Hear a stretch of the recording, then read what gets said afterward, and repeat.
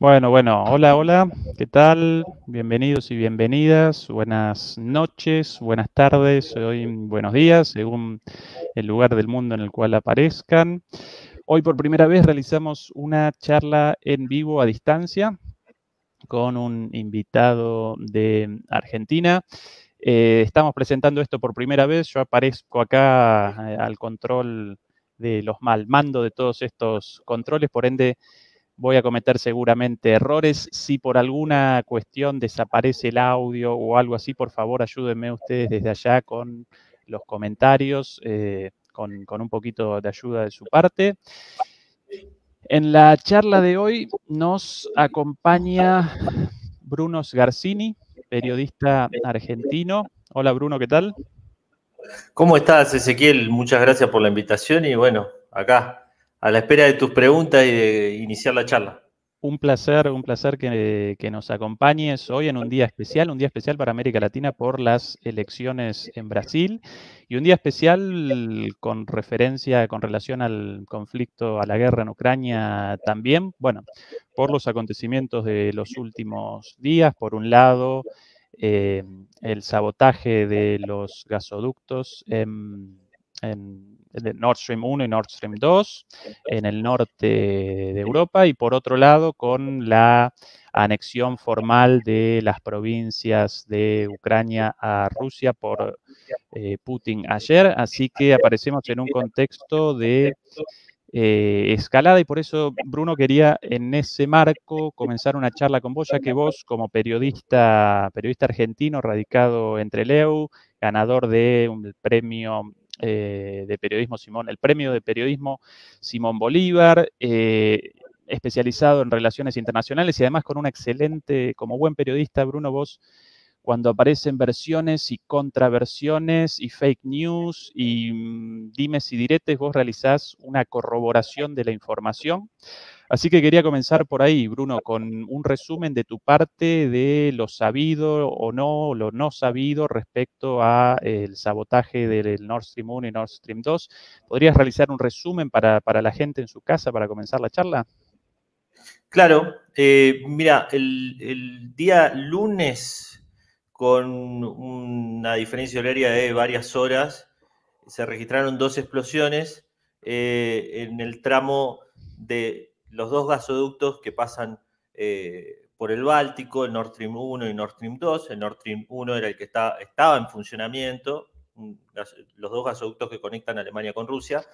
Em, estaba en funcionamiento hasta que eh, por las sanciones, según Gazprom, no pudo, eh, no pudo hacer funcionar unas turbinas de una estación compresora y estaba solamente con flujo mínimo ambos gasoductos para eh, mantenerlo eh, en, funcionamiento por si se los requería en algún momento. El Nord Stream 2 nunca estuvo en, funcionamiento porque fue sancionado o se suspendió su certificación por parte de las autoridades alemanas, ni, bien se dio la intervención de Rusia en Ucrania. Estas dos explosiones se registran eh, en la madrugada del lunes, con varias horas de diferencia, según las autoridades suecas y Alemania eh, y, danesas con escala eh, de Richter, o sea, la escala de los terremotos de 2.0, es decir, unas explosiones muy grandes. Las autoridades danesas, según lo que informaron al Consejo de Seguridad de la ONU, estiman que fueron por consecuencia de más de 500 kilos de explosivos. Hoy lo volvió a repetir Josep Borrell, el, encargado de la política exterior de la Unión Europea. Eh, según los analistas militares, estas eh, dos explosiones debieron haber sido hechas con, eh, con buzos tácticos, con utilización de drones, drones submarinos o mm, con un submarino de algún tipo. Se especula que haya sido una explosión a distancia incluso.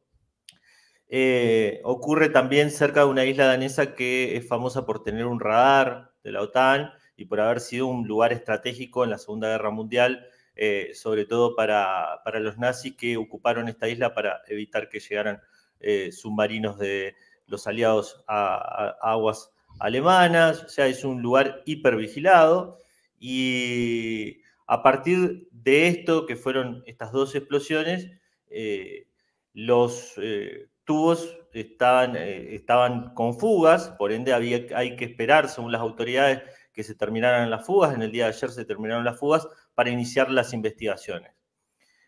Rusia, la Fiscalía de Rusia llamó, a convocó al servicio de inteligencia ruso para, para hacer una investigación por eh, terrorismo internacional. Eh, Vladimir Putin en su discurso de reconocimiento de las repúblicas eh, del Este y después la anexión por parte de Rusia acusó a Estados Unidos de realizar esta explosión. el secretario de Estado Anthony Blinken en el día de ayer dijo que, presentaban una oportunidad enorme estas explosiones para eliminar la dependencia de Rusia, eh, perdón, de Europa respecto de Rusia. Y mm, a partir de ahí estamos como en lo mismo que sucede cada vez que hay un evento ¿no? Eh, bélico como este, donde el relato es disputado por los dos lados en pugna, ¿no? Estados Unidos y mucha gente de los servicios de inteligencia y también algunos comunicadores intelectuales diciendo que fue eh, provocado por Rusia para eh, dañar la seguridad energética de Europa cuando se acerca el invierno y están eh, llenando los inventarios de, gas para, para surfear el próximo invierno. Rusia diciendo claramente que fue responsabilidad de Estados Unidos. también salió la versión en, los medios alemanes de que la CIA advirtió a Berlín en el verano que una fuerza ucraniana había intentó alquilar un, bote para atentar contra estos oleoductos. Eh, bueno, en 2021 hubo una, maniobra eh, marítima provocadora por parte de la Marina polaca acerca de estos oleoductos. En 2015 eh, unos drones cargados de explosivos también fueron despejados por, por la Armada sueca. Y bueno, estos dos oleoductos habían sido duramente criticados, no solamente por Estados Unidos, que lo habían, eh, incluso el propio Donald Trump, eh, cuando era presidente, Victoria Nuland ahora, la encargada para, para Europa, la subsecretaria de Estado, Victoria Nuland, que habían dicho que eran una amenaza a la seguridad mundial estos, estos dos oleoductos, principalmente el Nord Stream 2, que fue el más cuestionado, ¿no? Recordemos que estos dos, eh, estos dos gasoductos, eh, vienen a sortear los pasos estratégicos eh, que, van, ¿no? La red de gasoductos que pasan por Polonia y por Ucrania, dos países que son tradicionalmente eh, anti-Rusia y anti-Alemania. Polonia en este momento está pidiendo un resarcimiento histórico por la ocupación nazi después de varias décadas de la Segunda Guerra Mundial. Y estos dos gasoductos planteaban que, la relación estratégica eh, rusa-alemana se basara en, estos dos gasoductos y la, entidad empresarial, por decirlo, la, cantidad de empresas que intervenían en el, financiamiento de estos proyectos eran alemanas y rusas, ¿no? Incluso un expresidente alemán integraba la junta directiva de Gazprom hasta que tuvo que renunciar por, por toda la campaña de presión que se generó en Alemania. Y la explosión de estos dos gasoductos presenta prácticamente la, ruptura completa de esta alianza ruso-alemana que eh, planteaba que Alemania iba a ser el nodo estratégico de distribución eh, de la energía rusa en Europa, algo muy resistido por parte de muchos dirigentes europeos y sobre todo por los estadounidenses.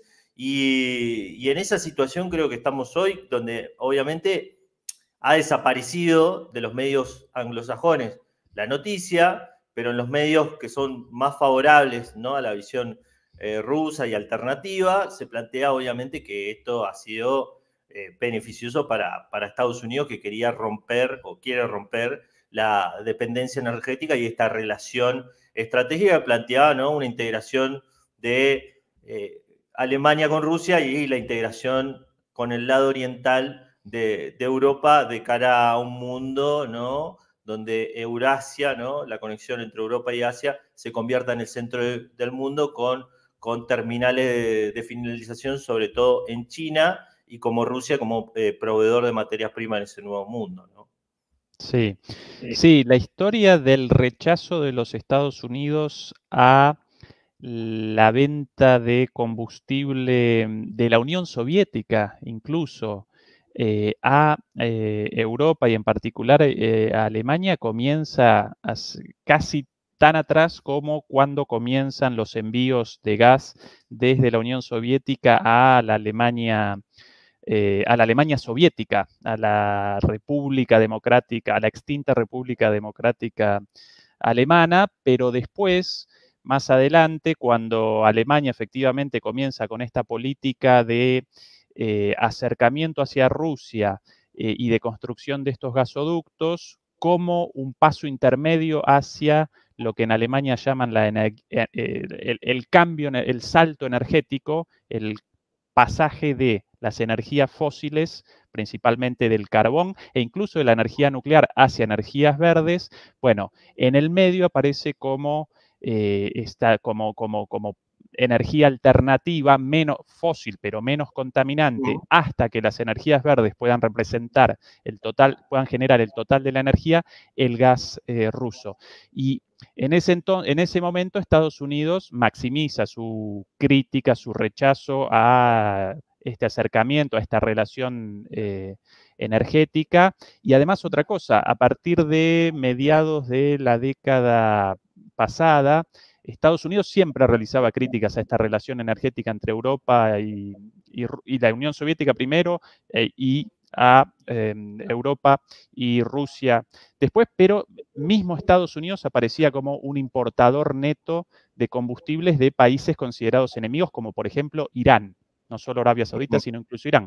Pero a partir de mediados de la década pasada, con el fracking, de repente Estados Unidos ya abandona esta dependencia, entonces ahí puede realizar una crítica mucho más eh, fuerte, mucho más eh, legítima, en el sentido de que si ellos no realizan importaciones de países enemigos, ¿por qué enemigos para ellos, desde su visión del mundo, por qué Europa sí? ¿no? Y así rechazaron el primero y rechazaron el segundo al punto de la no validación y del hecho de que hayan realizado una inversión cuantiosa tanto los, rusos como los alemanes y que ese gasoducto, el Nord Stream 2, que aparezca, eh, eh, sí, lleno de gas, pero sin envíos de gas, no en funcionamiento, ¿verdad? Claro, no, aparte que hay otro, otro tema, Ezequiel, que es ahora la reparación de los dos gasoductos, ¿no? Porque eh, hoy salió a hablar el viceministro y ministro de Energía de, Rusia, Novak, y dijo, bueno, esto se puede arreglar en el corto plazo si hay la voluntad. ¿Y qué voluntad hay también, o qué voluntad va a haber, tanto de los intereses empresariales como los intereses eh, gubernamentales, de mover o, y ponerse al hombro eh, la reparación y la gestión de materiales y tecnologías que pueda, pueda llegar a ser sancionada por Estados Unidos, porque Estados Unidos tiene un, pretexto y una justificación, que es la intervención rusa en Ucrania, ahora la, anexión de las repúblicas del Donbass, ¿quién va a querer asumir ese costo político? ¿no? Y ahí es que entra que si no se arregla en el corto plazo, queda dañado permanentemente por lo menos ese tramo, que es el tramo, en el tramo donde diríamos el 15 o el 20% de, la distancia eh, partiendo desde Alemania. Es fundamentalmente estratégico y, además de eso termina llevando a Alemania a una situación de acelerar aún más todos sus planes, que como bien decías vos, estaban pensados en una transición, digamos, mediano-largo plazo, y que ahora eh, vemos a Alemania, al canciller alemán Scholz, yendo a eh, Arabia Saudita, yendo a los Emiratos Árabes, yendo a Qatar, y, no buscando la energía que, le vendía Rusia, petróleo, muchas fábricas han pasado a diésel, han pasado a, carbón, ¿no? las plantas nucleares que se están reactivando de vuelta en, Alemania, y, pone a, a, Alemania en un brete porque pierde su ventaja competitiva, que era el gas ruso barato, que es lo que permitió engrosar el, su superávit comercial a lo largo de, muchos años y eh, después de eso se traslada a una crisis económica, una crisis industrial de muchas de, las fábricas que están viendo cómo eh, vuelven a, hacer más competitivos sus precios, sus costos,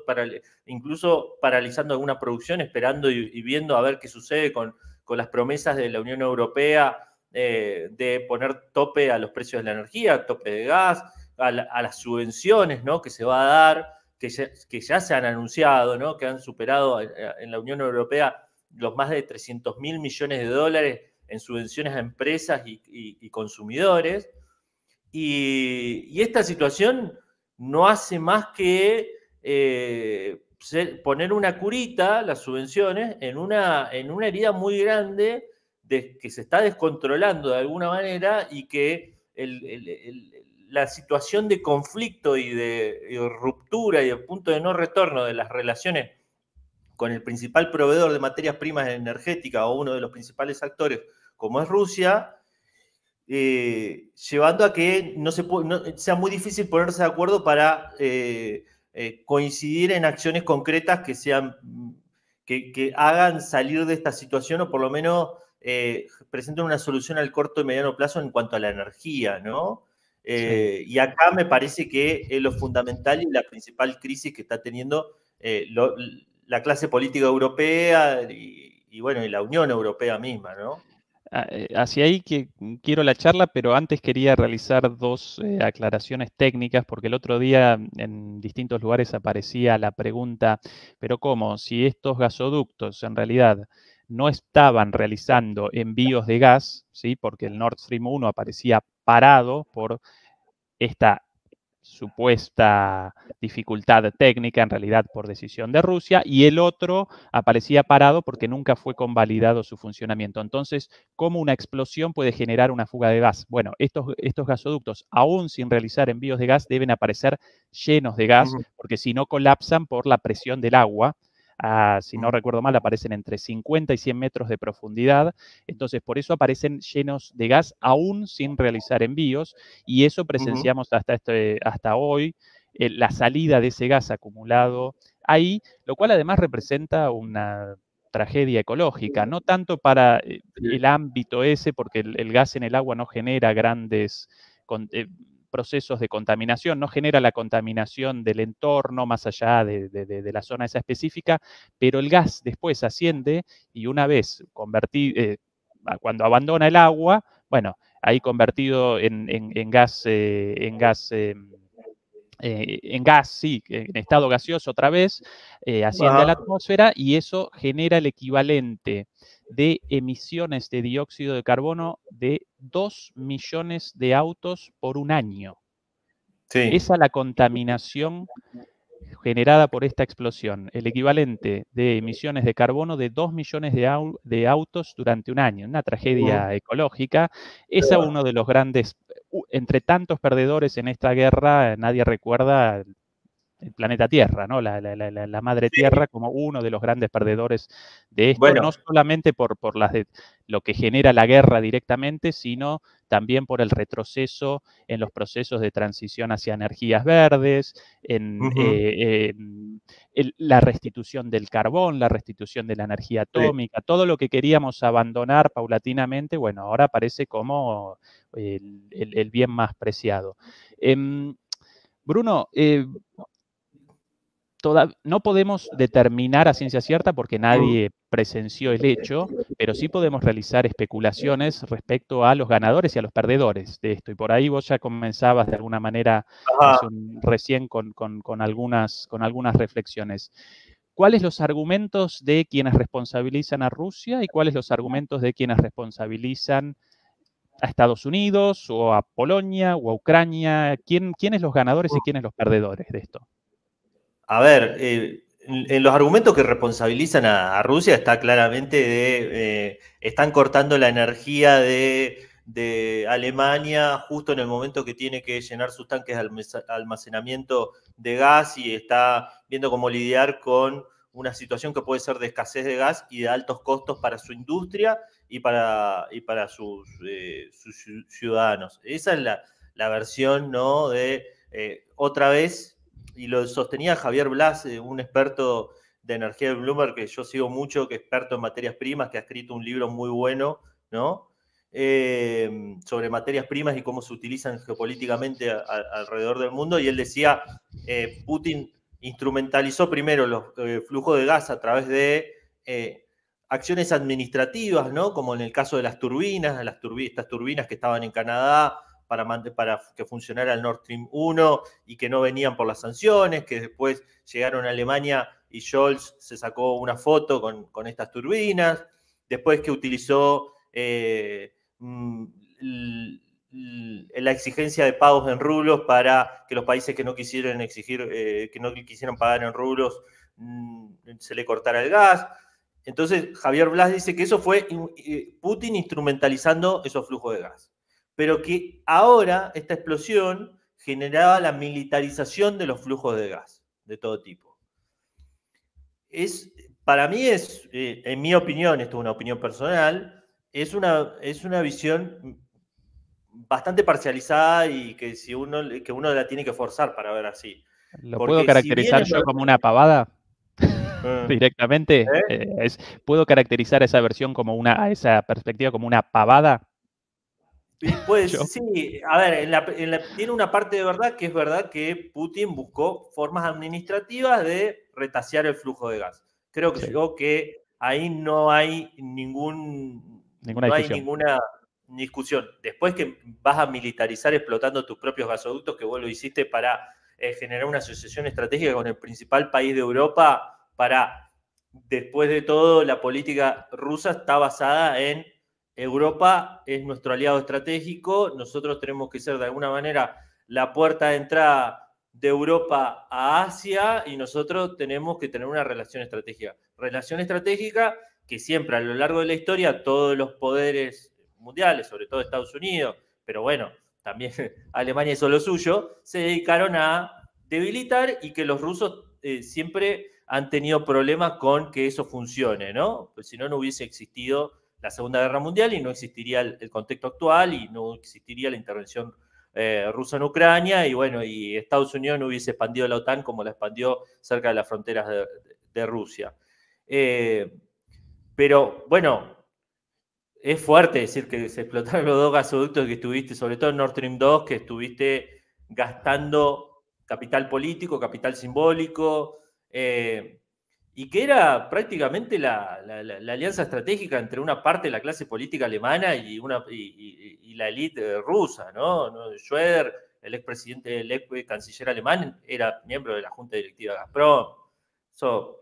Eso, Angela Merkel puso el gancho, eh, se sacó fotos firmando el Nord Stream 2. Es, o sea, agarrar y explotar eso, que es la palanca, ¿no? De, fuerza para mejorar las condiciones de negociación de Rusia, eh, para mí es un suicidio, ¿no? Eh, ahora, los grandes ganadores después de esto, claramente son dos países, Polonia y Ucrania. ¿Por qué? Porque Polonia pasa un gasoducto, porque Ucrania pasa la red de gasoductos histórica de, los, tiempos de la Unión Soviética. Ucrania tiene en este momento la empresa eh, de tránsito que provee tránsito a Gazprom de sus gasoductos tienen en este momento un diferendo con Gazprom que puede llegar a que se corte ese, hilo, ese delgado hilo que conecta al gas ruso a través de Ucrania. Y Polonia ya cerró ese gasoducto y ya tiró el gasoducto hacia Noruega. Que al final, cuando nosotros vemos la reacción, ¿cuál es la reacción de los países europeos y de Estados Unidos y de la OTAN? Hay que militarizar las instalaciones eh, de gas y petróleo de, Noruega, de, porque esas pueden ser las que puedan llegar a ser atacados los rusos en represalia. Qué, extraño, ¿no? Que de alguna manera el país que vos querés que sea proveedor alternativo en la transición energética, el proveedor alternativo de Rusia, eso es el que inmediatamente vas a defender después de que ocurren esas dos explosiones, ¿no?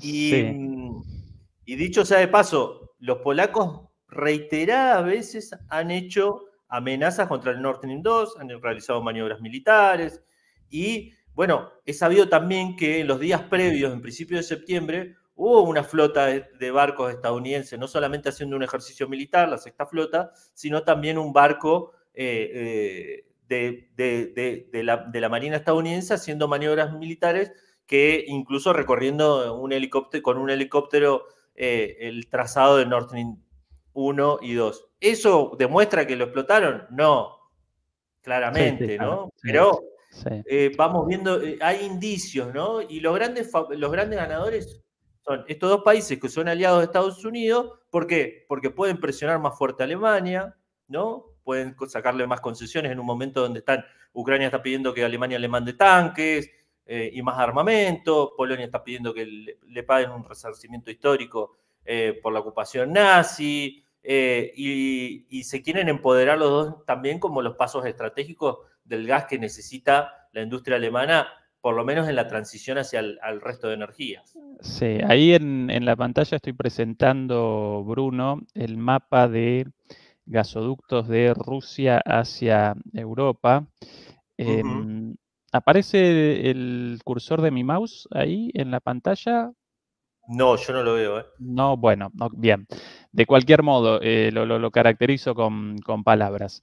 Eh, por encima, a través del Báltico, ahí aparece el, recorrido del Nord Stream 1 y el Nord Stream 2, los dos paralelos, con no recuerdo si 50 o 100 metros de, de distancia entre uno y otro, esos los dos explotados y explotados a la altura de esa pequeña islita visible debajo de Suecia, a esa altura, poco antes del ingreso, y después más abajo aparece otro gasoducto llamado eh, Yamal, lo llaman o Jamal en castellano.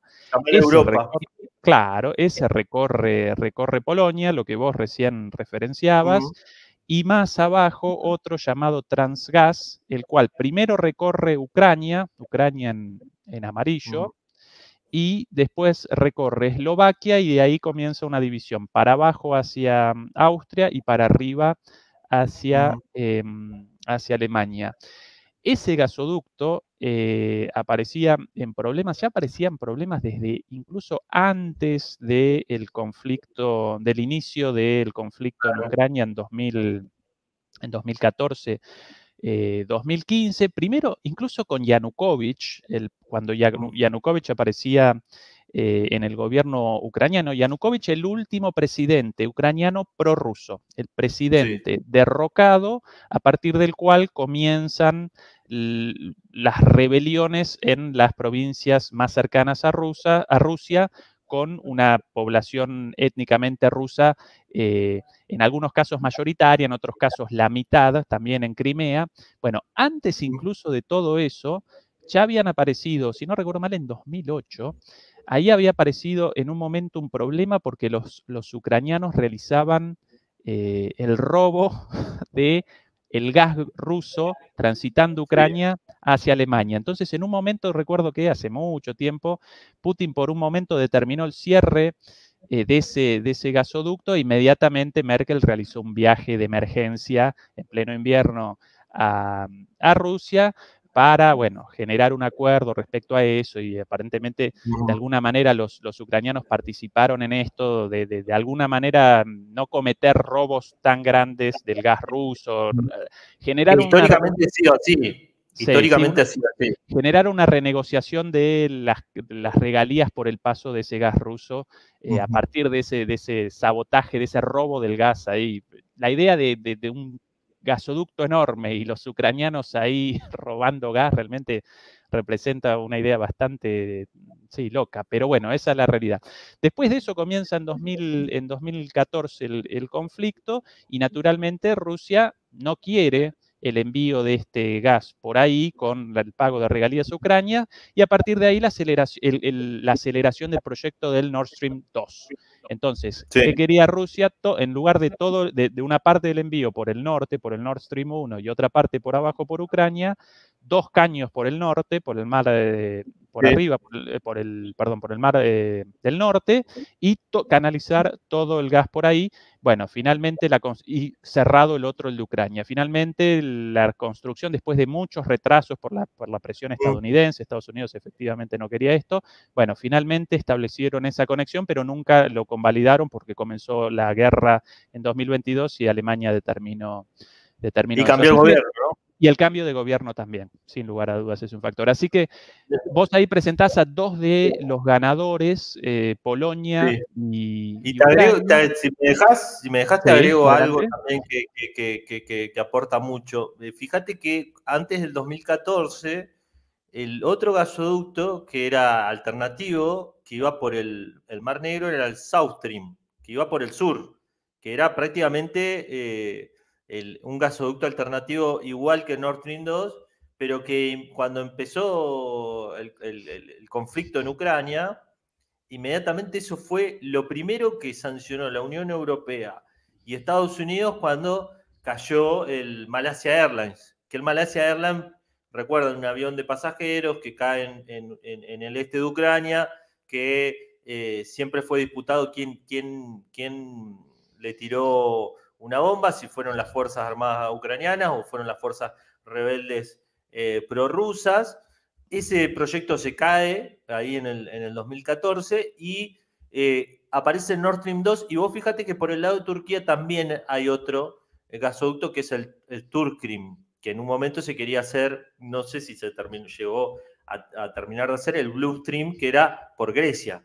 Y, otro paso alternativo que si ves también ahí Turquía en el conflicto, eh, eh, en la guerra de Ucrania, es uno de los principales países que se está beneficiando por todos lados, ¿no? Porque se ha vuelto como el país pivote, ¿no? El país de negociación, el país por donde salen los granos, el país por donde sale el gas alternativo, que también es otro caso eh, muy interesante de cómo algunos países se están aprovechando de la situación, ¿no? Estando en el medio.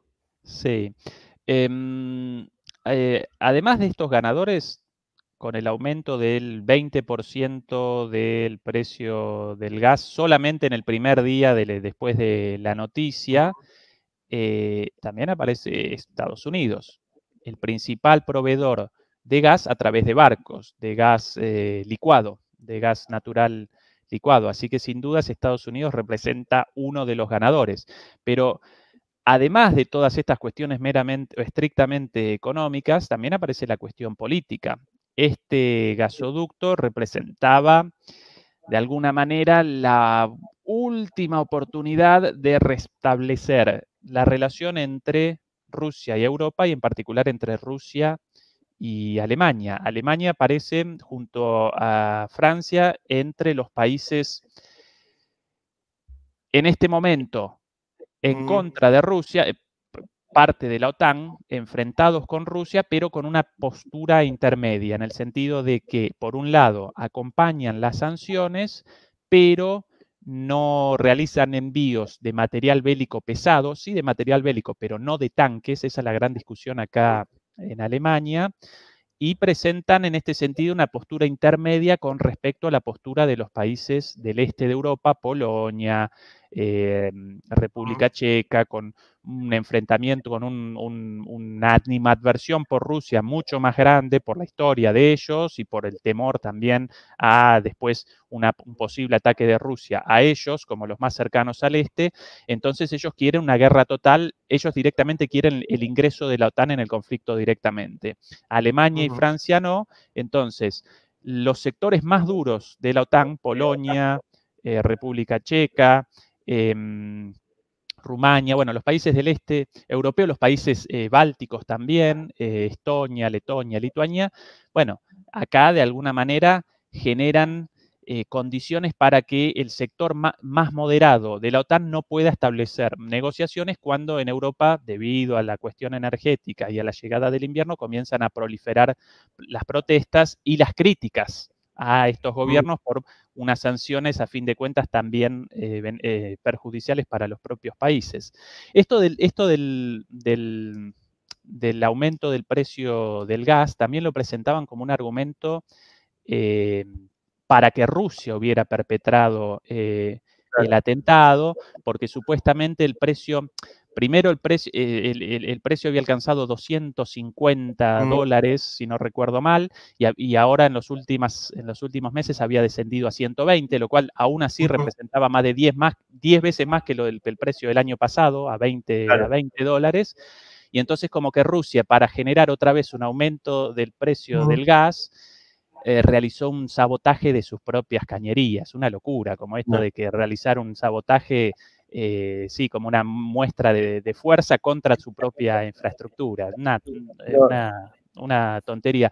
Por eso quería, quería presentar un video, Bruno, de, y a propósito de la construcción de sentido, vos comenzaste con esto, realmente lo, lo caracterizaste muy bien, de cómo todos en un contexto de guerra, eh, los medios de comunicación de ambas partes, obviamente, de todas partes, quieren generar de alguna manera sentido a partir de, bueno, su relato, su construcción de los acontecimientos. Y en, el otro día, en, mis sugerencias de YouTube, aparecía un video de mm, la televisión pública española, para mí gracioso, a fin de cuentas, en el cual presentan esto y bueno, em, al final al, reportero bastante objetivo lo amonestan por sencillamente por presentar la idea de que quizás eh, los países beneficiados con esto pudieran aparecer detrás de estas voladuras. Lo voy a presentar ahora. ¿Tendría interés Rusia en poder eh, bombardear un, gasoducto que es de la propia Rusia. ¿no?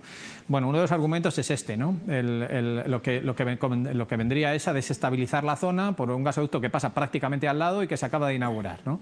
Y por tanto lo que estaría es advirtiendo, oye, tengo capacidad para volar vuestro gasoducto nuevo. ¿no? Es un poco raro ¿eh? pensar que Rusia ha invertido 20.000 millones de euros en esos dos gasoductos y es un poco raro que, Rusia vaya a, sabotear algo de, su propia em, em, interés, digamos, ¿no? de, haber, puesto su dinero ahí. ¿no?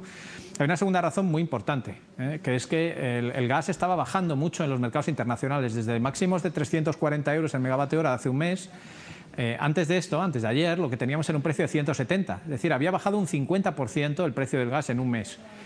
Y claro, esto eh, es importante para Rusia y para financiar la guerra mantener un precio alto. En cuanto esto se conoció ayer, se dispararon los precios de nuevo y han vuelto a estar por encima de los 200. En este momento, 210 euros el megavatio hora. ¿no? Por tanto, como digo, hay algunas razones que podrían justificar que Rusia, digamos, se autoinmolara ¿eh? y destruyera sus propias instalaciones para subir el precio del gas. Hay una tercera que no es menos importante. Lo recordabais vosotros en el vídeo. Se está diciendo, bueno, es que Rusia lleva eh, amenazando con cortar el gas y argumentando, con, argumentos, por cierto, bastante falaces, el que no podía suministrar gas. Bueno, pues ahora lo que tiene es un argumento potente para no suministrar gas, porque ahora lo que puede decir es, oiga, es que no puedo. Y por tanto tengo que incumplir los contratos. Esto tiene mucho que ver con las penalizaciones económicas que tiene el incumplimiento del contrato por parte de Rusia. ¿no? Pero ciertamente, después de todo esto, ciertamente el principal beneficiado de esto es Estados Unidos. Acá realizo una pausa. Hasta acá, Jorge, nuestro amigo Jorge de la televisión española, bastante bien porque presentó los argumentos, pero inmediatamente lo, realizó una relativización, porque eh, de qué, con qué sentido el aumento del precio del gas con la destrucción de tu propia infraestructura. Además, eh, si bien había descendido el precio del gas, el año pasado presentaba un valor 10 veces menor, con lo cual aún representa un precio altísimo. Y ese último argumento de Em, de los contratos, eh, como si en este momento de guerra el, cumplimiento ¿no? de los contratos representase un problema muy grande para Rusia o para cualquier país. tengo, entendido incluso que los contratos favorecen a Gazprom si no se cumple, porque Alemania tiene que seguir pagando. Y hay un asunto también que cuando se plantea, sobre todo el argumento de aumenta el precio del gas y por ende aumentan los ingresos de Rusia. Los principales ingresos de Rusia en este momento en su superávit comercial es el petróleo. O sea, se pueden dar el lujo, lo decía Javier Blas, no solamente en esta columna, sino hay una columna muy buena que dice en los mercados energéticos Putin va ganando, donde dice está ganando tanta plata por las ventas de petróleo que se puede dar el lujo de no enviar gas a Europa que eh, que va a obtener el superávit comercial para cubrir eh, esos 300 mil millones de dólares que fueron congelados por, eh, por los bancos centrales de Europa y de Estados Unidos después de, la intervención rusa en Ucrania, que más allá de, lo que se pueda decir, de la condena que se pueda hacer, el antecedente es terrible porque ante cualquier país que haga lo que no, lo que no le gusta a Estados Unidos o Europa, te pueden congelar la, tu reserva en un, en un banco que es prácticamente romper el pacto que, en la que se basa el orden internacional, sobre todo en las finanzas, ¿no? Y después la otra cuestión es que el grueso del gas que va a Alemania iba por el Nord Stream y ahora tiene que ir por, por, el, por gasoducto de Ucrania. Es decir, ¿quién va a querer que el país en el que estás en guerra ah, eh, en este momento sea el principal país de tránsito, uno de los principales países de tránsito del gas que envías a Alemania? O sea, es un suicidio en términos geopolíticos. Bueno, eh, el bueno de Jorge al final de esta primera presentación caracteriza todo esto como poco plausible y ahora presenta los argumentos a favor de la otra hipótesis. ¿Eh? Porque claro, todo el gas que no venga por, por gasoducto va a entrar por barco. Y los analistas internacionales lo que ya están diciendo después del incidente de ayer es que el gasoducto no es fiable, ningún gasoducto, ni siquiera el Báltico. Y por tanto, lo que están haciendo es apuntar al gas que viene en barco, es decir, el gas que viene de Estados Unidos. Por eso, también hay sospechas en el mercado de que haya sido el, propio gobierno americano el que haya eh, cometido, digamos, este atentado contra el gasoducto que une Rusia con Alemania. Bueno, de momento, eh, por, definir bien las Pobre Jorge, ahora, la Unión Europea está hablando de un ahora va a comenzar el reto. No, le pone ningún autor, pero sí considera que esas explosiones que registraron los sismógrafos podrían estar detrás de los efectos de los daños que han sufrido esos gasoductos. No, Jorge, lo que pasa, yo te estoy, te estoy escuchando con mucha atención. Lo que ocurre es que la mera posibilidad de que los Estados Unidos hayan cometido este sabotaje es absolutamente infernal. Es decir, es un sabotaje contra países aliados y amigos por una cuestión meramente económica, que es verdad que es muy relevante, pero que las consecuencias eh, negativas superarían en mucho a las consecuencias positivas sobre los precios o sobre el suministro de Estados Unidos. Es decir, la posibilidad de que en plena guerra de, Ucrania, en plena invasión de Ucrania, eh, Estados Unidos pudiera haber cometido una acción así contra, contra países aliados, yo creo que es, permítemelo, eh, tú estás haciendo muy bien en explicárnoslo y te seguimos con mucha atención, me parece un, disparate. Bueno, capuzoteana la escena. Em, yo después quiero con vos charlotear un poco sobre esto. Em, los teléfonos de los líderes europeos aparecían intervenidos por los servicios de inteligencia de Estados Unidos. Eh, la NSA, ¿no? exactamente. Eh, sin llamar siquiera a sus aliados de la OTAN, determinó la, eh, abandonar Afganistán de la noche a la mañana y los funcionarios alemanes y franceses debieron realizar malabares para poder despachar de vuelta a los militares y al personal diplomático de vuelta para acá ante la decisión de Estados Unidos. ¿Cómo puede entonces eh, la dirigencia europea y acá este señor, pobre este, este, muchacho, este periodista, de alguna manera presenta un parte del sentido común de la dirigencia europea. ¿Cómo podría Estados Unidos realizar una cosa así? Impensable. Eh, a mí me maravilla ese grado de, ingenuidad a veces, ¿no?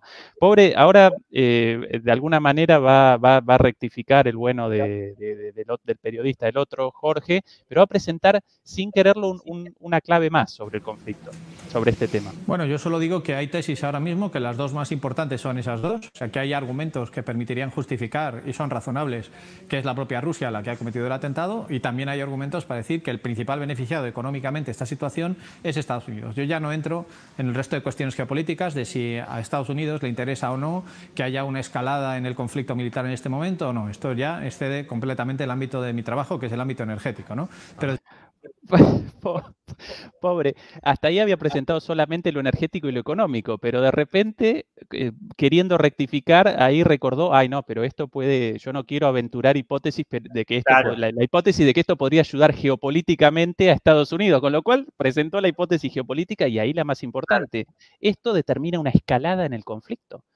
Y del otro lado, y del otro lado presenciamos otra escalada más con la anexión de las, de los, de las eh, eh, provincias eh, ucranianas. Entonces, entre escalada de un lado y escalada del otro, em, Bruno, ¿en qué situación aparecemos? ¿En qué, qué, consecuencias genera esto para Europa? ¿Qué consecuencias genera esto para Alemania en particular? Vos esto lo presentaste muy bien en un artículo tuyo. Eh, primero, eh, para mí pasamos, esta semana pasamos los puntos de lo que se llama los puntos de no retorno, ¿no? Cuando eh, es como cuando te separas de una relación amorosa y ya hay una acción que marca el fin de esa, de esa relación. Y esto que sucedió esta semana, más allá de que la intervención rusa en Ucrania lo habían marcado ¿no? como un punto de no retorno, yo creo que ahora de esto no se vuelve prácticamente. Ya pasamos a algo que se había profetizado por muchos teóricos de geopolítica estadounidense, los tanques de pensamiento. Yo recuerdo mucho el documento de, un think tank que se llamaba Nuevos... Eh, Rand Corporation. Claro, América para un nuevo siglo americano, pero también otro de que el Centro para, para, para la Prosperidad Americana, que, que, integraba la propia Nuland, ¿no? la subsecretaria de Estado, y quienes iban a ser el, staff de Hillary Clinton en política exterior, en el Pentágono, que hablaban prácticamente de que eh, la eventual presidencia de Hillary Clinton tenía que ser una presidencia que militarizara la relación con Rusia a través de Ucrania, militarizara la relación con China, es decir, que empezara una, eh, un mayor gasto militar y mayor eh, dinero destinado a, conocimiento tecnológico en el ámbito militar y que eh, se eh, provocaran a partir de eso eh, la militarización de, las relaciones bilaterales y también a través de la relación entre bloques. Yo creo que ya llegamos a ese punto, ¿no? Que las relaciones comerciales, las relaciones financieras y ahora las relaciones energéticas están mediadas por una cada vez más abierta militarización entre Rusia y el resto de países como si estuviesen en una guerra fría. Me parece que eso está totalmente claro.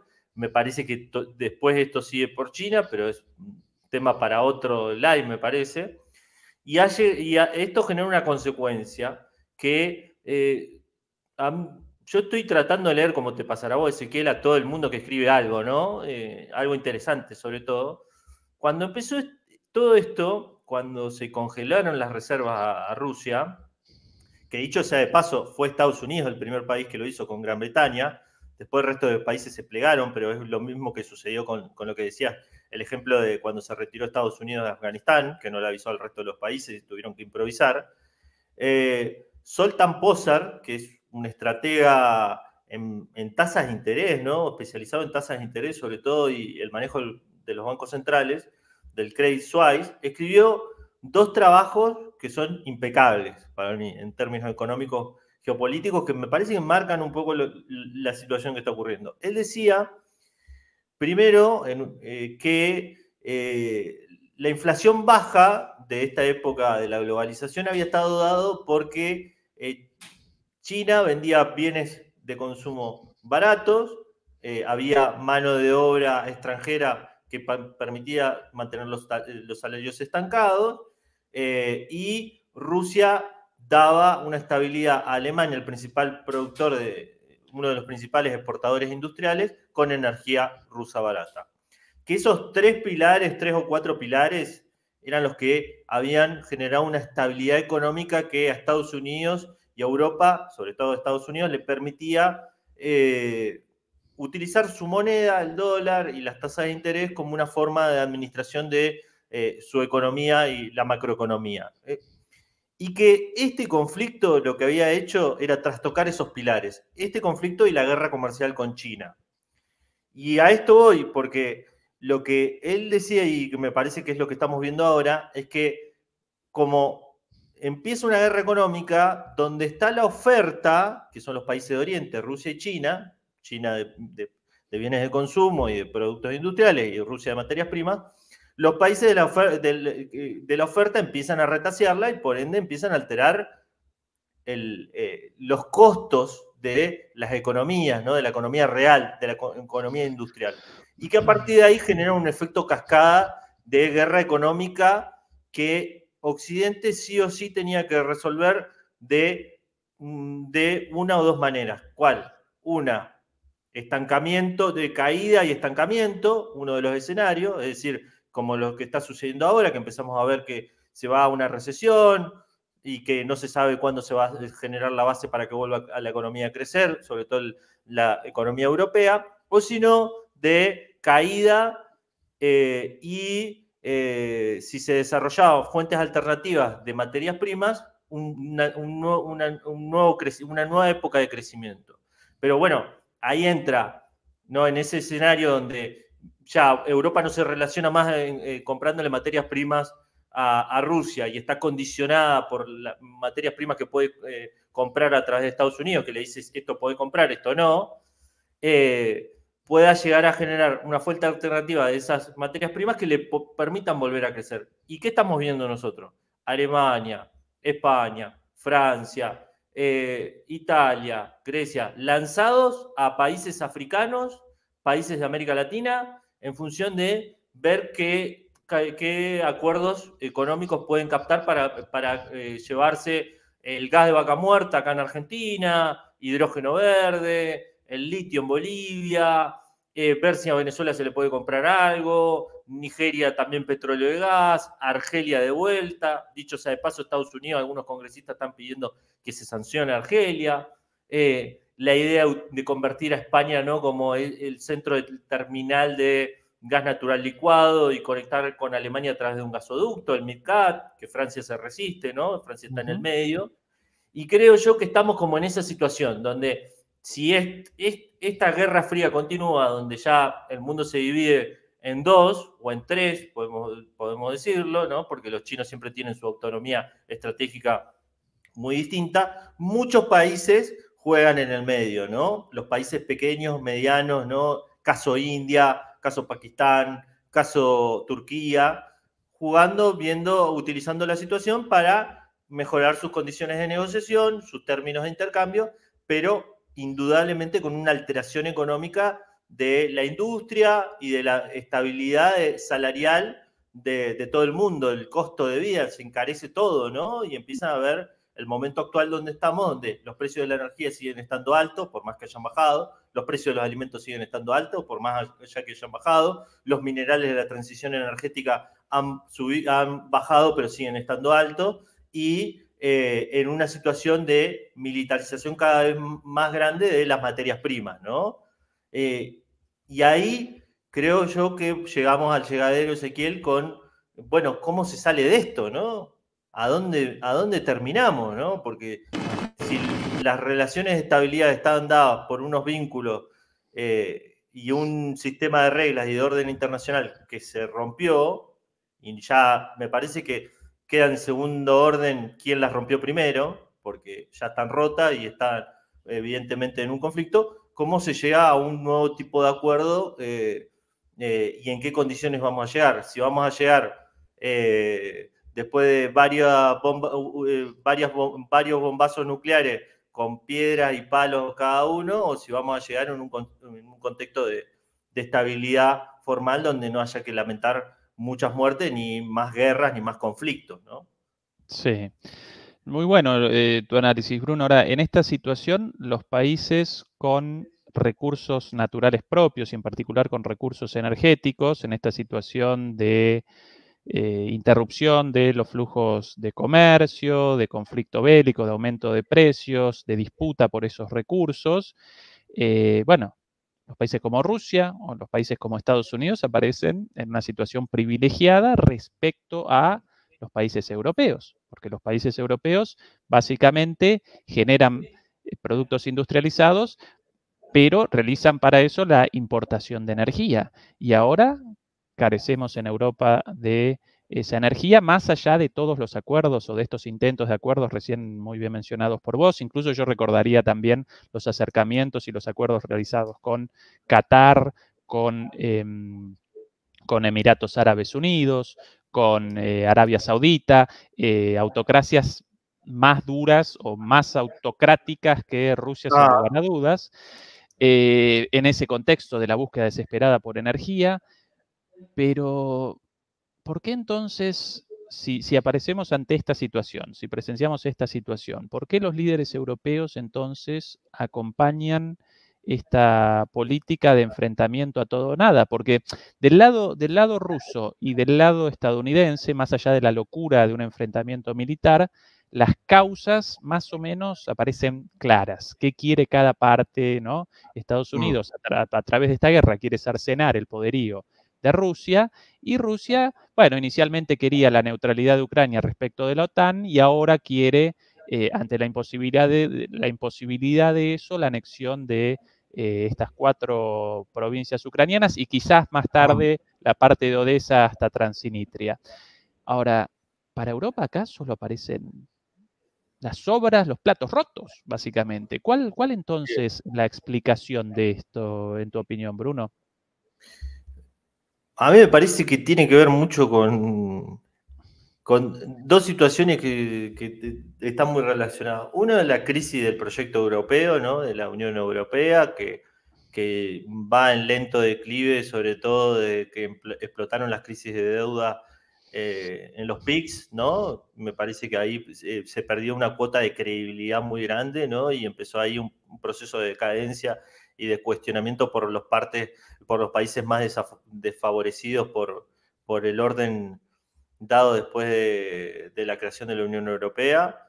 Eh, una crisis de, liderazgo y de ideas muy fuertes, ¿no? Y de, de reformación del proyecto europeo en el cual cuando se empezaron a discutir cosas muy necesarias ya era muy tarde, el caso de una fuerza militar europea, que, lo, que llevaría como 10, 20 años, que quieras o no quieras, eh, hoy por hoy eh, Europa, los principales países, quien lleva la dirección de las fuerzas militares es Estados Unidos a través de la, OTAN, ¿no? Está bien que la OTAN tiene sus reglas, Estados Unidos no puede agarrar y decir bombeamos a tal país y bombardeamos a, tal país y todos los países agachan la cabeza y van, pero condiciona, ¿no? Condiciona bastante porque cuando empieza un conflicto como el de Ucrania, evidentemente hay un grupo de países que favorece una política más bélica eh, de la OTAN y otros países que dicen, no, vamos, vamos a negociar y vamos a encontrar un acuerdo político y es esta, esta distensión que hay entre los países bálticos, las ex repúblicas soviéticas, ¿no? Eh, y la propia Ucrania.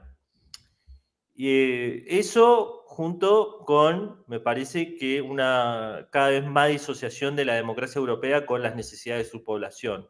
Lo estamos viendo que quienes están, que, que hay un descontento, sí, pero quien lo capitaliza o es la extrema derecha o es la abstención y las movilizaciones que se dan, como sucedieron con los chalecos amarillos, al no tener una conducción, eh, conducción política clara ni que ningún representante se haga cargo de ellas, no terminan siendo procesadas por los sistemas políticos de los países como deberían ser. Entonces, cada vez los líderes europeos son menos permeables a las necesidades de su población.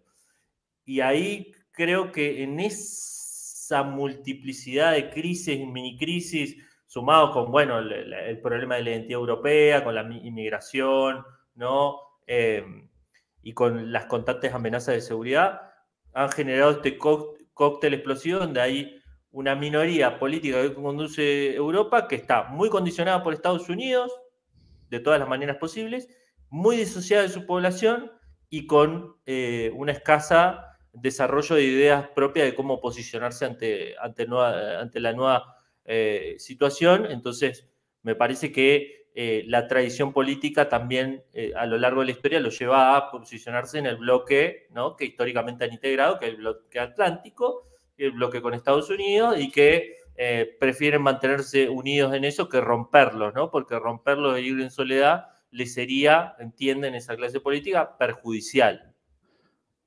Muy bueno tu análisis, Bruno. Completamente de acuerdo con vos. Em, realizaría un agregado. Eh, en este contexto, eh, proliferan las extremas derechas ante la insatisfacción generalizada con esta situación. Incluso antes de esta situación y antes de la pandemia, las consecuencias del neoliberalismo ya habían generado, no solamente en Estados Unidos y en Brasil, sino en Europa, las condiciones para el surgimiento de una extrema derecha, la cual capitalizase ese descontento a través de chivos expiatorios principalmente.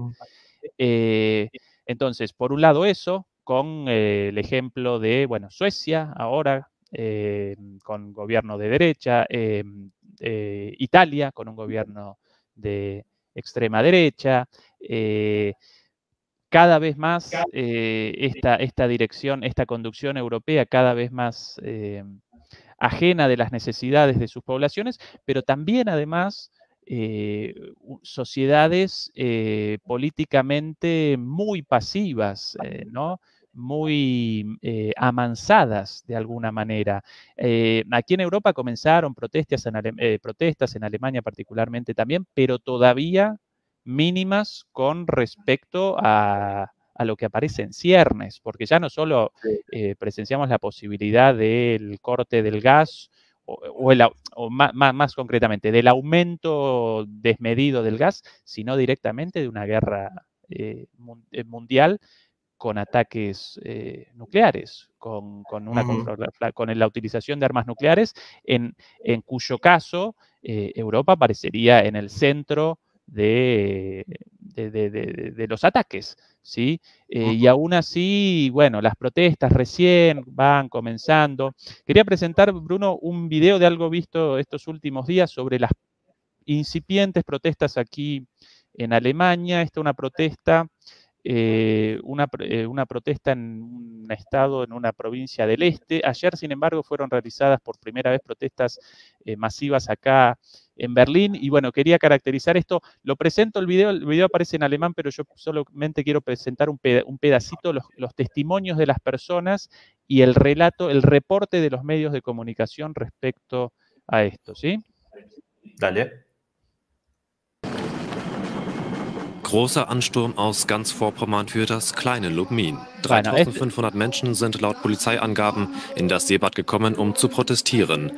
Esta es la, la, protesta. Por ahí aparecen algunas banderas rusas. Por ahí participa también algunos eh, eh, eh, antivacunas, también algunos locos sueltos. La extrema derecha realiza un esfuerzo enorme por, de alguna manera, eh, generar la cooptación de todo esto, pero a su vez participan cada vez, esto es un pueblito chiquitito, 3.000 personas en esta marcha la semana pasada. Participa cada vez más gente del común. Acá la, la eh, principal oradora de esto, Praxis, una, esta señora, die hohen Energiekosten nun in Gefahr. Ich kann nur sagen, wir wissen ja nicht, was auf uns zukommt. Voy realizando la traducción. Solo puedo decir que no sé lo que se nos viene encima. Responde esta señora, la principal oradora de esta charla, una dentista de ahí de la zona del este de Europa. Ähm, wir sehen nur, dass eine Regierung chaotisch reagiert in allen Bereichen. Ähm, Vemos que el, el gobierno reacciona caóticamente a los acontecimientos en todos los ámbitos, bastante, bastante lúcida la señora, la dentista esta. Mm, ob ich später arbeiten kann in meinem Beruf oder ob ich ohne Strom und Wasser dastehe, das äh, steht ja alles nicht fest. Si voy a poder seguir trabajando o voy a tener luz o agua, está todo en veremos. Esa la, es una señora, una de las organizadoras, ¿no? Y ni, ni una neonazi, ni una izquierdista extrema, ni una antivacunas, ni mucho, ni mucho menos. Después, más adelante, en, otro, en otra pequeña entrevista, aparece un jubilado. Energiepreise, die Gaspreise sind doch nicht mehr zu bezahlen. Ich habe eine Rente von 800 Euro. Wer soll das bezahlen? Wir haben einen Bescheid bekommen, 395 bueno, soy, un, soy jubilado, no sé cómo voy a pagar las cosas, tengo una, una, jubilación de 800 euros, recibimos una noticia de aumento de los, del precio del gas y la electricidad, 400 euros. ¿Cómo lo pago?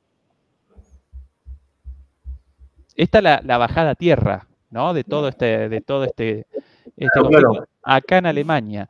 Quizás, Bruno, y, y, y de aquí acá quería de alguna manera la última pregunta, la última, el último tema de discusión. Quizás una de las posibles soluciones a este conflicto en escalada y cada vez más peligroso y cada vez más con la posibilidad de un enfrentamiento nuclear, quizás las protestas de los pueblos ante las consecuencias de este conflicto. Sí, eh, yo agarraría también con cuidado eso porque ahora, hablando de la extrema derecha, ¿no?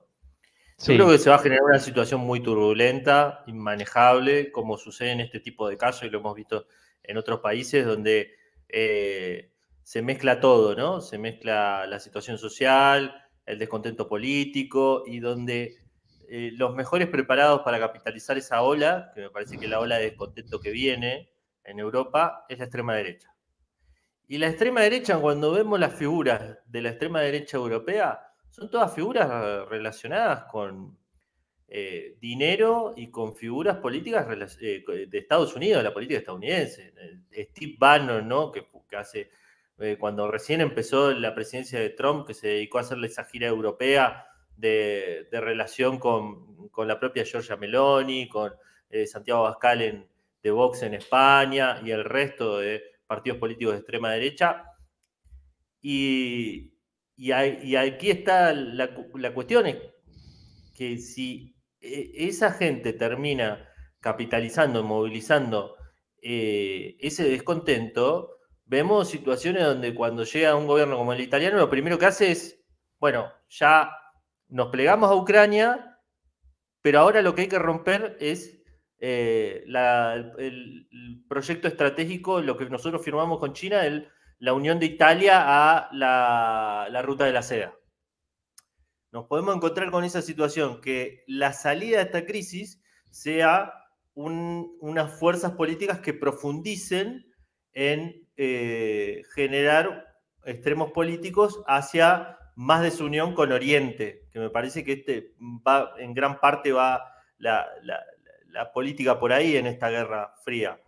Eh, la, otra cara de lo que puede llegar a suceder en un eventual escenario es que muchos eh, partidos políticos que forman parte del establishment político, la socialdemocracia, los partidos conservadores, se hagan eco de esto y eh, favorezcan una negociación uniéndose en algún polo de atracción, un polo, digamos, un polo de poder francés, alemán y británico, principalmente Alemania y Francia, me parece a mí, que digan, nosotros favorecemos una salida, una salida negociada de esta situación, vamos, proponemos esto y que tenga la voluntad política de moverlo y hacer coincidencias para frenar la escalada en el conflicto. Esa puede ser la otra situación aliviar las sanciones.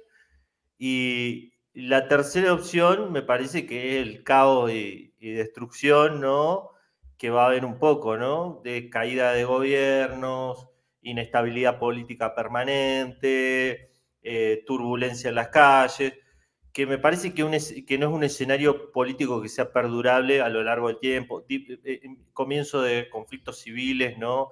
en la periferia de Europa, vuelta a algunos conflictos entre países, como lo vimos con Armenia y con Azerbaiyán, ¿no?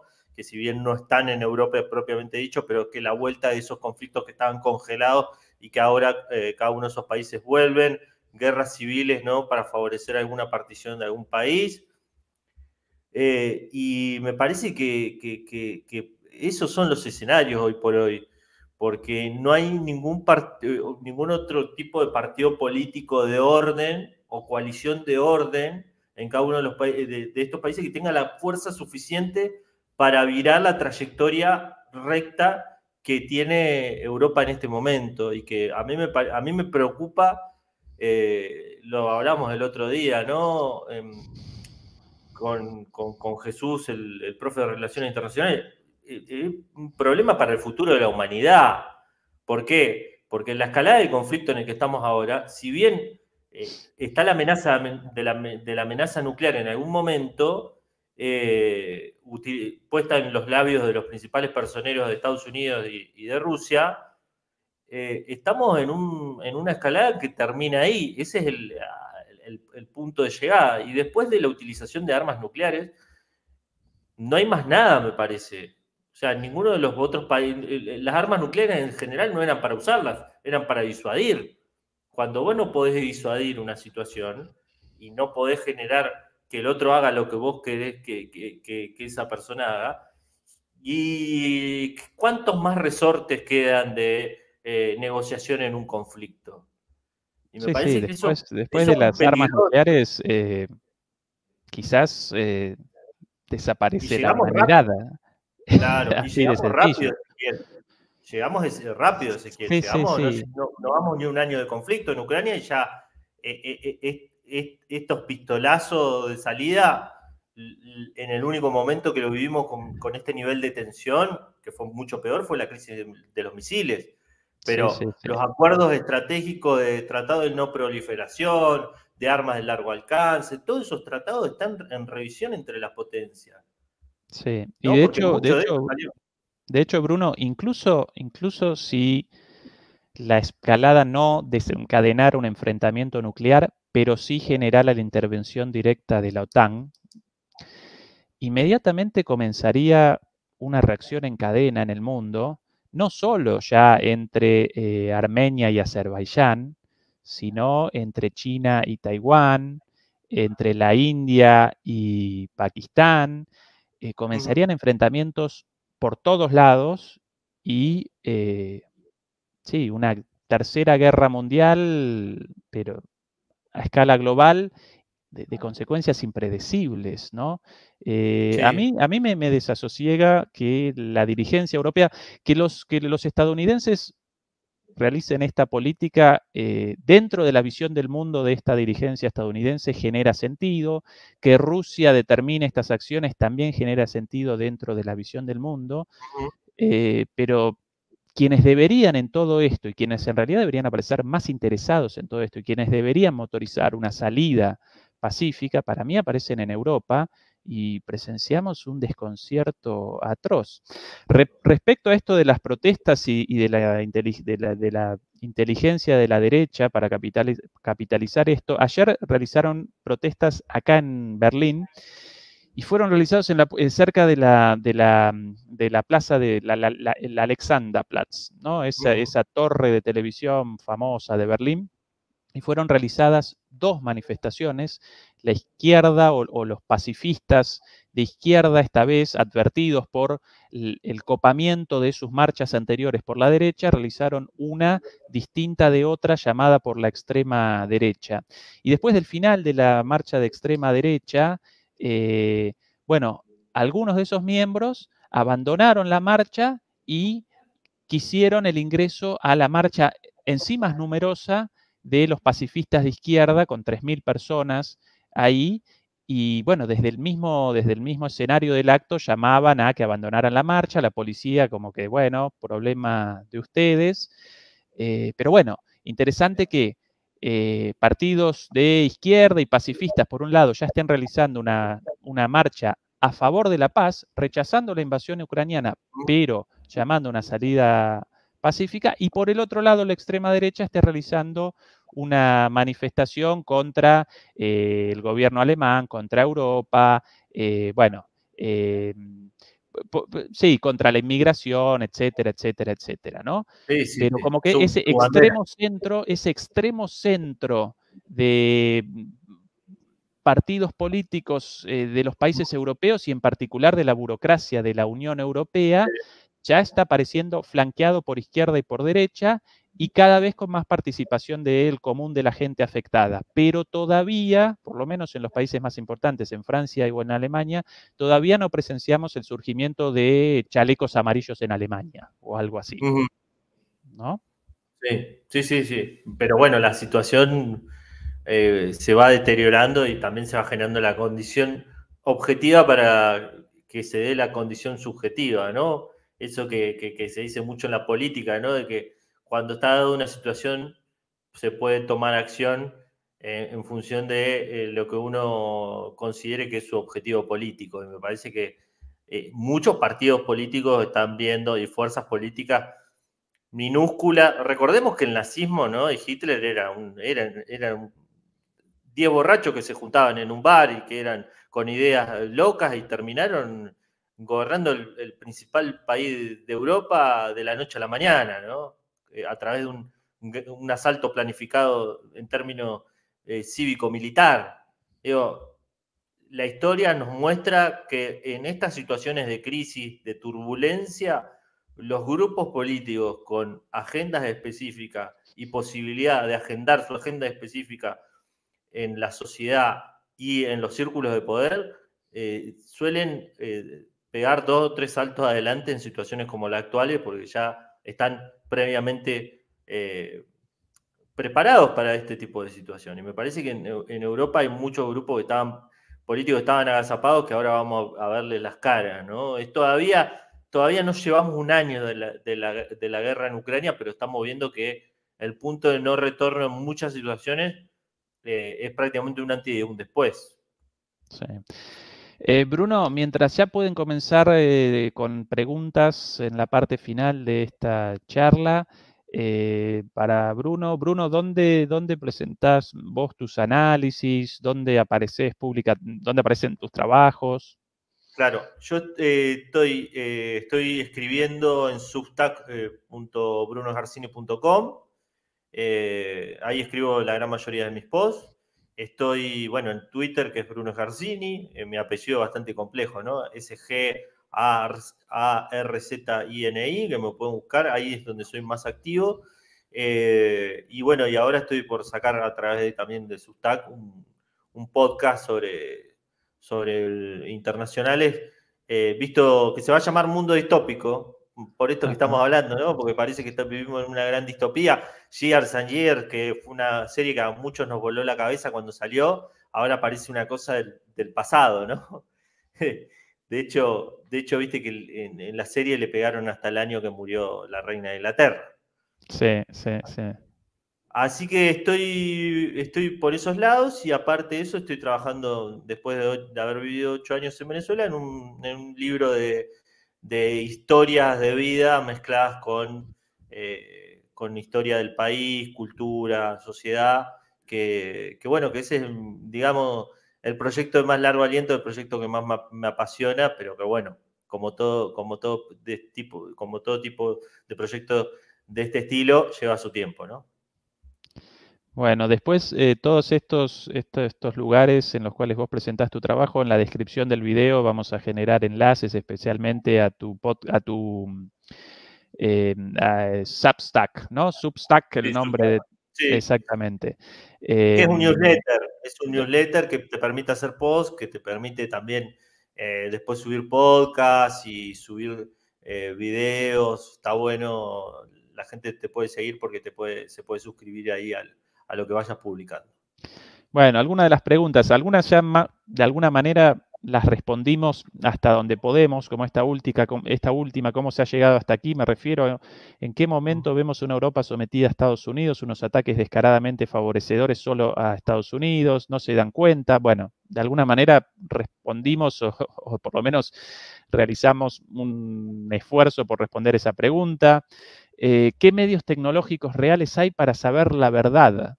Eh, uy, qué pregunta, no, no puedo terminar bien qué quieren, si, en el sentido de, fuentes de información, tal vez. Bruno, ¿qué fuentes de información interesantes cuando, antes de, generar vos tus análisis, cuáles tus fuentes, algunas para, la gente en general? Sí. yo en general eh, divido lectura mm, mainstream con lecturas alternativas con lecturas de medios oficiales. En las mainstream pongo Bloomberg para seguir toda la cuestión financiera, que me parece que, más allá de que tenga su sesgo en términos financieros, que me parece que es donde está en este momento la principal jugada, te permite informarte eh, y medir eh, las consecuencias e implicancias financieras y geopolíticas que está viendo en este momento con lo que sucede. Después Reuters también lo utilizo porque hacen muy buenos reportajes, no solamente financieros, sino también políticos con, cobertura en todos lados del mundo. Eh, después algunos blogs alternativos, Munos a Alabama, leo Pepe Escobar, leo también la, agencia rusa TAS eh, y New Eastern Journal, que es un medio donde escriben muchos eh, teóricos intelectuales rusos. Mm, y, bueno, después eh, Twitter, ¿no? Que te permite hacer tu menú a la carta con muchos periodistas, analistas de todas las vertientes ideológicas que están constantemente informando. Yo sigo mucho, sobre todo lo que escriben eh, gente de tanques de pensamiento de Estados Unidos, la Fundación Heritage, eh, bueno, muchísima gente que, escribe y a través de ellos me, voy conociendo su opinión y bueno, y después uno va cotejando, ¿no? Va comparando la información y sacando un poco a través de algún tipo de método propio eh, lo que, lo que pueda llegar a servir para enriquecer un punto de vista ¿no? Eh, propio de uno, que es lo que intento volcar en los trabajos que hago, también hablando con gente como vos, Ezequiel, o gente que está siguiendo esto, que, me parece que en estos intercambios es donde uno le va dando sentido y un marco a lo que está pasando, porque, bueno, más allá de lo, de teórico, eh, político, periodístico, es bastante triste, ¿no? Vivimos en un momento muy triste, no vivimos en un momento muy feliz del mundo. Sí, sí, yo, yo cuando, cuando recorro fuentes para realizar mis análisis, a veces me acomete la sensación de qué difícil para una persona eh, no dedicada a esto poder generar una visión de todo esto ante la proliferación de informaciones. A, fin de cuentas, la sociedad de la información representa la sociedad de la sobreinformación y así de la desinformación, porque si ya para los mismos analistas realizar un análisis eh, representa un desafío, eh, pobre la persona sin la más mínima idea, de repente con el gas cortado y, o con una factura de luz más, más alta que su jubilación, eh, para generar sentido de eso, ¿no? Pero bueno, eso no solo en este tema, sino como uno de los, de los temas de, nuestro, de, nuestro, de, la, de la posmodernidad, por llamarlo de alguna manera. Claro, claro, sí. Es tema para una clase, ¿no? Sí, sí. Bueno, por ahí una preguntita más ahí interesante vista. Eh, ¿Va a patrocinar Alemania el turismo en zonas tropicales? ¿Algo escuchado, algo leído de eso por casualidad, eh, Bruno? No, pero cuando se refiere a zonas tropicales que eh, Venezuela, los no. Caribe. en algún momento yo recuerdo algo escuchado por ahí de que en el caso de un aumento de los precios de la energía muy alto acá, que podían patrocinar viajes a España o al sur de Europa. Eh, no tengo Cosas así. Yo tampoco, en algún momento he escuchado algo, pero no mucho más, así que no la podemos responder esa. ¿Crees que el pueblo alemán tendrá la fuerza necesaria para hacer que sus autoridades tomen las decisiones que le convienen a Alemania y a Europa y no seguir lo dictado por Estados Unidos? Bueno, de alguna manera quisimos responder eso. Eh, Ahora, sí. Ezequiel, vos que, vivís allá, ¿no? Y acá cambio el rol, de, me pongo en, entrevistador. Em, ¿Cómo ves también a la sociedad alemana? Porque pensando que siempre que, a Alemania, como sucede ahora, países potencias lo ponen contra una pared, no sale nada bueno. En general, a lo largo de la historia alemana, cuando a, Alemania le hacen cosas como, como esta, eh, de volar un gasoducto, hacer que pague una deuda eh, infernal cuando pierde, cuando pierde la Primera Guerra Mundial, todo termina peor. Cada vez que hay una depresión en Alemania, todos nos agarramos la cabeza porque no sabemos qué va a pasar. Sí, nada peor que, un alemán improvisando, Bruno. Y eso no solo a nivel político, sino en cualquier ámbito de la vida. Estoy generalizando un poco después de más de 15 años vividos en Alemania, pero los alemanes pueden algunas cosas muy bien, a su manera, con su orden, con su sistema creado, pero cuando de repente abandonan ese sistema, comienza la desesperación. Eh, en términos generales, no solo políticos.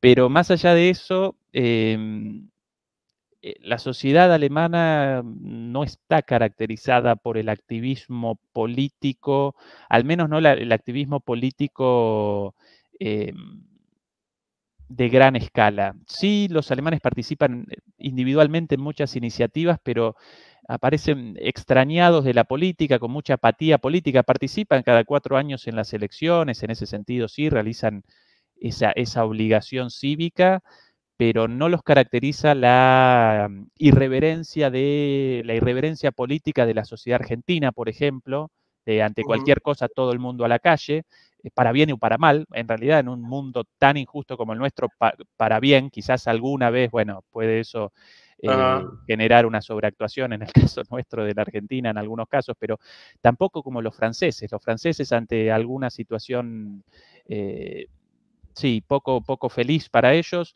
inmediatamente reaccionan.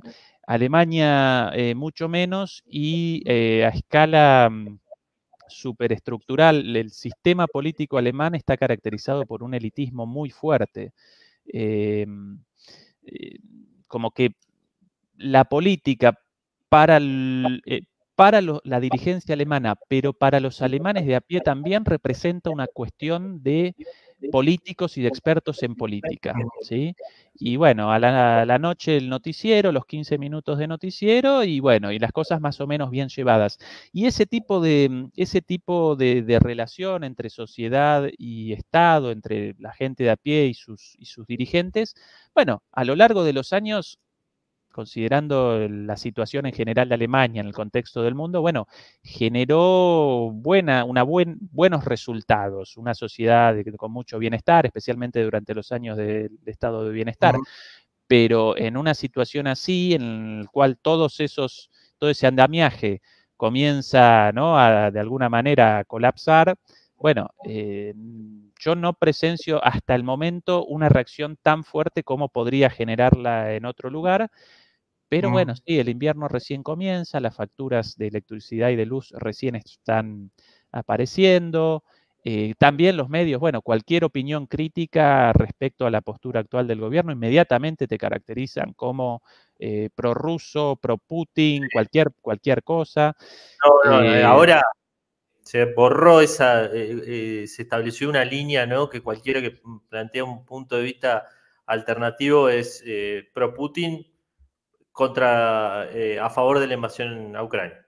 Acá, eh, atención a esta pregunta, Bruno Ezequiel. Una pregunta. ¿Qué recomendarías a residentes en Europa latinos si la guerra eh, da fuertes indicios de que la escalada nuclear está muy pronto? Esto es una cosa medio personal, pero yo alguna, en algún momento también, con las últimas semanas, con, reflexiones al respecto. bueno. lo, primero que sería, en una cuestión como armas nucleares, me parece que para llevar un poco de tranquilidad. Eh, eh, eh, el, uso de armas nucleares en este momento está planteado en un escenario de guerra en un espacio, en un territorio específico de Europa que es Ucrania, ¿no? Y que está dentro de una, hablado como lo último de utilizarse en una escalada. Me parece que Rusia en ese sentido ha sido muy, muy racional en la escalada, ¿no? Utilizó una fuerza militar de, infantería mucho más baja que Ucrania, utilizó armamento mucho menor del esperado y tiene muchas armas a utilizar que no, que no ha usado antes de llegar a, la utilización de armas nucleares tácticas. Me parece que siempre que se habla de armas nucleares son como factor de disuasión. Cuando eh, eh, Mark Tracy, en Twitter, eh, un periodista estadounidense que tiene un podcast, él hablaba eh, de una declaración del, no recuerdo el nombre, del general estadounidense que, ordenó la, utilización de las dos bombas nucleares en Japón, ¿no? Y, él, y este general estadounidense decía que se había utilizado porque era una manera de disuadir a los japoneses para que se rindieran. Recordemos que los japoneses estaban rodeados por la Marina, la Armada estadounidense, pero estaban con voluntad de resistir cualquier intento de desembarco por parte de Estados Unidos, incluso eh, muy famoso que antes de, la, las bombas nucleares, eh, Estados Unidos bombardeó Tokio y le incendió, ¿no? Bombardeó, fue criminal ese bombardeo que hizo. Y, esa fueron, es la única experiencia que nosotros tenemos moderna de utilización de armas nucleares. Entonces, eh, para que llegue a Europa me parece que hay que pasar un montón de otras cosas más que no ha pasado todavía, ¿no? Sí, de acuerdo, de acuerdo con vos. Pero ya eh, considerando la situación el año pasado, protagonizamos una escalada en tan poco tiempo verdaderamente preocupante. Por las dudas a todos los latinoamericanos en Europa, el pasaporte eh, tramitado y guardadito ahí por las dudas. Pero bueno, no, no, no, no queremos llamar a la desesperación. Por, por este, en este momento no parece planteado ese escenario.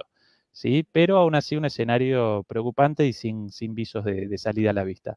Bruno, em, mi agradecimiento, un placer la charla con vos, seguramente que no em, la última. Em, al, a los eh, suscriptores y a las suscriptoras, a toda la gente quienes, a, quienes acompañaron la transmisión con sus comentarios, muchas Muchas gracias. Bastante menos accidentada de lo previsto. Esta es la primera experiencia ah. para mí con el, con el software este de transmisión en vivo. Bastante bien eso. Eh, si quieren, en el canal de Demoliendo Mitos de la Política, en algún momento realizamos em, dos em, columnas sobre el surgimiento, la expansión, el auge de la nueva extrema derecha hace ya algún tiempo, antes, antes de que incluso apareciera el libro este de, de Stefanoni, ahora considerado uno de los libros más importantes, ya como hace un año, en el cual presentamos un poquito sobre, sobre eso de manera bastante pedagógica. Recuerden acompañar a Bruno con con sus artículos y su futuro podcast. En la descripción vamos a presentar, eh, vamos a presentar eh, los enlaces a sus, a sus contribuciones. Y eso, Bruno, eh, mil gracias por, la ayuda, la, charla y hasta pronto y al resto de la audiencia hasta pronto también. Muchísimas gracias a vos también por el tiempo y bueno, y esperemos estar hablando pronto también de algunas cosas más alegres, esperemos. Ciao ciao.